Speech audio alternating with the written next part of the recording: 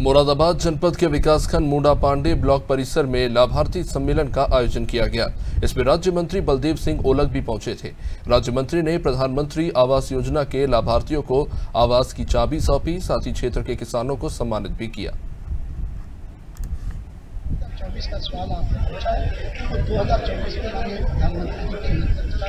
कोई मुकाबला नहीं जितने भी विपक्ष के लोग अपनी मेहनत कर रहे ताकत लगा रहे उनका जो उनके लिए बेकार है अगले दो हज़ार चौबीस में उससे जो दो हज़ार पहले चुनाव हुआ था उन्नीस में, उससे भी बेहतर भारतीय जनता पार्टी, माननीय मोदी जी के नेतृत्व सरकार बनाने वाले